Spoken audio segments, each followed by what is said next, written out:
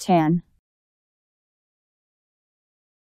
An English surname derived from the transliteration of various Asian surnames, particularly originating from China and Vietnam. T A N Tan